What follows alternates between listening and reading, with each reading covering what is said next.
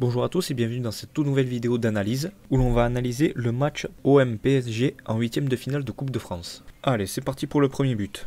Alors pour le premier but de l'OM, c'est sur un penalty, mais le plus important c'est de savoir comment l'action a abouti au penalty. Alors on va démarrer l'action avec la perte de balle de Marquinhos. Alors déjà avant de commencer, cette perte de balle, elle est à l'image de tout le match qu'a fait le PSG plein d'erreurs individuelles et collectives complètement absurdes, qui donnent une sensation de manque d'envie, de manque de justesse technique, couplé au fait que l'Olympique de Marseille, elle, a fait tout le contraire, a donné de l'envie et a prouvé qu'elle savait créer des actions et faire circuler le ballon, ce qui a donné un match encore plus compliqué pour le Paris Saint-Germain. Là, le joueur marseillais, suite au rebond, il est obligé de dégager le ballon parce qu'il est pressé par un joueur de Paris. Le bloc se replace. Marseille monte d'un cran alors que le PSG, eux, c'est le contraire, descend d'un cran alors qu'ils sont en possession du ballon dans la partie adverse. On le voit tout simplement avec 6 joueurs du PSG qui sont bas, avec seulement 3 joueurs devant.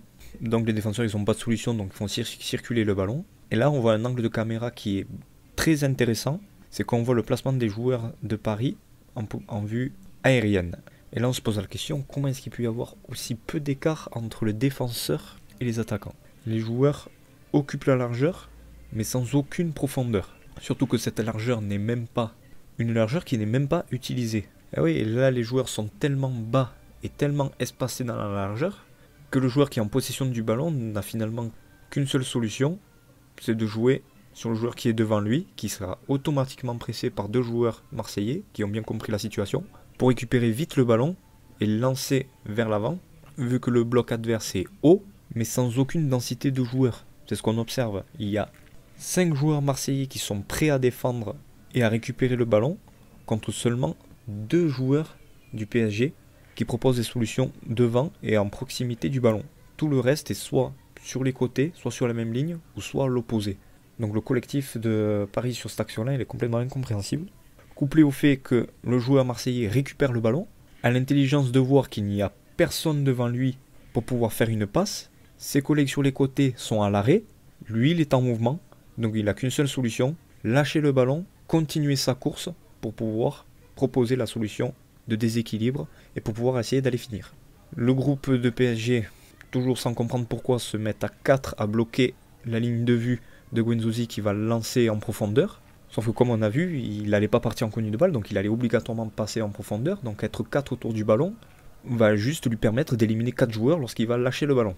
Donc il réussit à faire la passe, et là il y a le 1 contre 1 classique, il réussit à faire un crochet qui passe, le joueur adverse revient et il y a un penalty qui est effectué. Maintenant, passons au second but. Alors, c'est un but du PSG. Qui est corner ou pas, c'est un autre débat. C'est pas le sujet de la vidéo. Là, il y a un corner et on va analyser comment il y a eu un but sur un corner. Donc là, on voit que Marseille produit une défense mixte, c'est-à-dire une défense à la fois de zone et individuelle. Et là, il y a une bonne combinaison des joueurs du PSG. Ramos part, qui est suivi par le défenseur, mais l'autre joueur du PSG bloque le défenseur, qui permet à Ramos d'être tout seul et qui rejoint trop tôt par un autre défenseur marseillais, qui permet d'avoir but. Le but aurait pu être empêché si le euh, défenseur marseillais qui marquait le joueur euh, du PSG qui fait le, blocus aurait anticipé l'appel de Ramos et aurait été plus tôt sur le ballon. Mais c'est évidemment bien compliqué à effectuer. Allez, donc on passe au troisième but, but de l'Olympique de Marseille. Donc sur cette action, je vous épargne la vue de la minute catastrophique du PSG. Elle est du même niveau que la touche qu'on vient de voir et qui est le reflet du PSG de ce soir. Ballon récupéré par l'OM qui part directement vers les cages. Les joueurs du PSG ont enfin la lucidité d'être dense dans l'axe du but pour pouvoir protéger les cages.